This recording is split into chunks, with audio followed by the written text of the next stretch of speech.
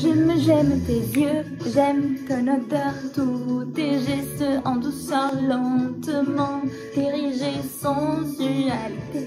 Clara Luciani, Clara Luciani, Clara Luciani. Al fin Salut, moi c'est Emily et aujourd'hui je vais te parler de Clara Luciani. Hoy voy a hablarte de una de mis artistas favoritas en francés.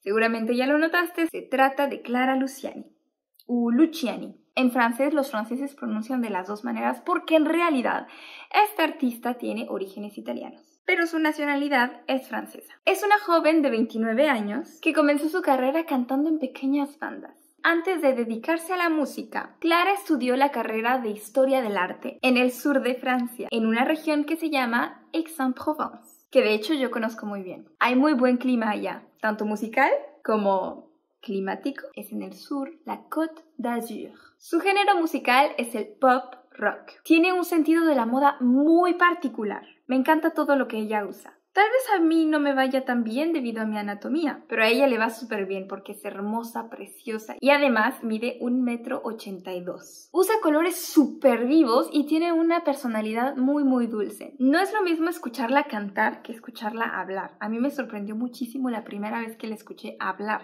Al cantar tiene una voz un poquito más como gruesa, ya sabes. Y al hablar tiene una voz mucho más dulce, un poco aguda. Hoy es una de las artistas francesas más escuchadas en la radio, YouTube y Spotify, aquí en Francia. Quiero compartirte el top 3 de las canciones que más me gustan de ella. Sensualité, que estábamos escuchando un poquito al principio. Ma sœur, que personalmente yo dediqué a mis dos hermanas. Amour, toujours que justamente tiene una introducción en español bastante curiosa, te recomiendo ir a verla. Vete a escucharlas y regresa a este post para decirme cuál fue tu favorita o lo que piensas, si te gustó o si no te gustó. Cuéntame también si ya la conocías. Dime también todas tus dudas. Y recuerda compartir este video con alguien con quien crees que puedes sacarle provecho. Guardando este video lo encontrarás fácilmente. Dale me gusta para que yo sepa que quieres más tips como este. Además acuérdate que tenemos un curso completo para enseñarte todo sobre el francés de una manera más simple y descomplicada. Apúntate a nuestra lista de espera para que sepas cuándo abrimos nuevos cupos para estudiar con Fluency Academy. El link está en nuestro perfil. Allez bisous!